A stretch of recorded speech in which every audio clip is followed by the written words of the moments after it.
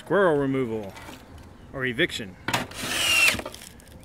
This is where they were coming in right here. So we're sealing down the whole roof line if you can see it. We're installing this safety exit tunnel here which would allow the squirrels to get out but not back in. They'll get stabbed. Right there's the spikes. So they were chewing in right here.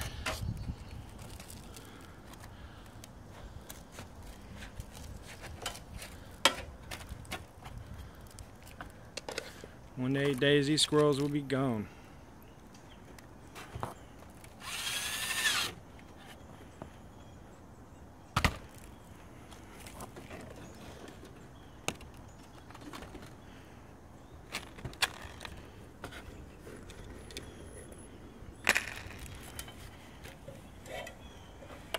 Put the peanut butter on the outside right there. Allow them squirrels to smell their way out. Alright, well you get the gist of it. Call Attic Kings, animalremoval.com.